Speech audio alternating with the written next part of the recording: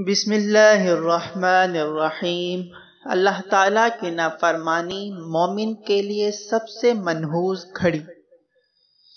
आरिफ बिल्ला हज़रत शाह हकीम मोहम्मद अख्तर साहब रहीमहुल्लाह फरमाते हैं, अगर आप अल्लाह ताला के तुम दीवाना हो जाओ तो तुम्हारा गम दूसरे उठाएँगे, और तुम्हें कहना भी नहीं पड़ेगा तो हमारा रब अपनी मखलूक के दिल में डालेगा। वो तुम्हारी हाजतों को पूरा करके शुक्रिया भी अदा करेंगे।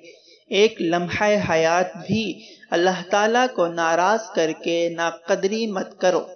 जिस जालिम ने गुनाहों से हराम लज्जत को हासिल किया, उस जालिम ने अपनी ज़िंदगी के लम्हा लम्हा हयात के साथ नाकदरी की, ना शब कदरी की, ना रोज़ कदरी की। जो लम्हा उसने नाफरमानी में ज़ाय किया, इससे बढ़कर कोई खसारा नहीं।